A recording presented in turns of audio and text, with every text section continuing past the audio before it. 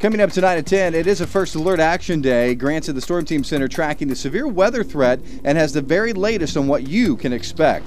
Plus, baby monitors giving complete strangers access to your child. You kind of do feel violated in a way. The dangers that come along with these high tech cameras. Those stories and a deadly outbreak of tornadoes leaves a path of destruction. A look at those hardest hit. The house shook and it was kind of a white bundle heading that way. Tonight on Heartland News at 10.